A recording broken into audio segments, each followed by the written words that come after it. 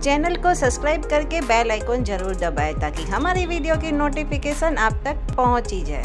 आज हम बनाने जा रहे हैं झटपट बनने वाला पनीर दो प्याज़ा।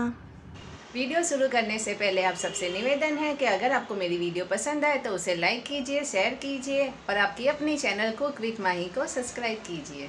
सबसे पहले एक पैन में डाल दीजिए थोड़ा सा बटर और थोड़ा सा ऑयल फिर उसमें डाल दीजिए हमारा ये सॉफ्ट सा पनीर।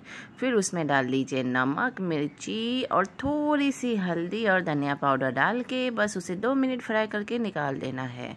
सारा पनीर को हमें ज़्यादा भुनना नहीं है, बस दो मिनट फ्राई किया और उसी ऑयल में डालने हैं।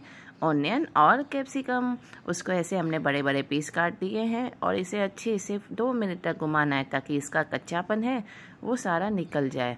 बस फिर उसके बाद ये भी सारा इसमें निकाल दीजिए। बस हमारे समझो ये सब्ज़ियाँ रेडी हैं। अब उसी पैन में थोड़ा सा और ऑयल डालना है, उसमें डालना है जीरा और हमने दो बड़े प्याज को एकदम बारीक कट करके डाल दिया था। इस स्टेज पे आप चाहे तो सूखे गरम मसाले भी डाल सकते हैं, पर हमने नहीं डाले हैं। अब उसमें डालना है बारीक कटा हुआ जिंजर, गार्लिक और ग्रीन चिली। इससे एकदम अच्छा सा क्रिस्पीनेस आता है। फिर उसमें डाल दीजिए सूखे मसाले, नमक, मिर्ची, हल्दी, धनिया पाउडर और ब्लैक पेपर पाउडर और गरम मसाला।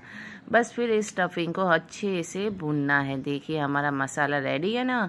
फिर उसमें डाल दीजिए टमाटर की पेस्ट इसमें भी हमने दो बड़े टमाटर लिए हैं, उसको बारीक क्रश कर लिया था। और देखिए, इसे दो मिनट तक भूनने के बाद एकदम अच्छे से ऑयल निकल के आ गया है। मतलब हमारी ग्रेवी रेडी है। अब यहाँ पे आप डाल सकते हैं दो बड़े चम्मच मलाई के। आप हैवी क्रीम भी डाल सकते हैं और आप दही भी डाल सकते हैं। सब्ज़ी में एकदम बढ़िया सा टेक्सचर आ सकता है। अब उस टाइम पे डाल दीजिए हमारी बुनी हुई सब्ज़ियाँ मतलब पनीर कैप्सिकम और ऑनियन बस इसे अच्छे से मिला दीजिए। देखिए रेडी है ना? होटल जैसा ही एकदम बढ़िया सा। घर पे ही इजीली सब्ज़ियाँ बन जाए तो क्यों बाहर जाना? और घर पे ही जब सब्ज़ी समझ में ना आए क्या बनाए तो बस ऐसे ही बना सकते हैं। हमने थोड़ा सा पानी डाला है ताकि मसाले और अच्छे से पक जाए। बस देखिए, ज़्यादा भी हमें इसे पतला नहीं रखना है और एकदम सूखा भी नहीं मज़ा आता। हल्का सा ग्रेवी सा आ जाता है तो मज़ा आ जाता है। बस उसमें डाल दीजिए थोड़ा ऊपर से कसूरी मेथी और दो मिनट पकाने के बाद ये ऑलरेडी थिकनेस इसमें आ ही जाती है। रेडी है ना ये सब्ज़ी पनीर दो प्याज़ा? अगर ये रेसिपी आपको पसंद आई हो तो लाइक शेयर और सब्सक्राइब कीजिएगा।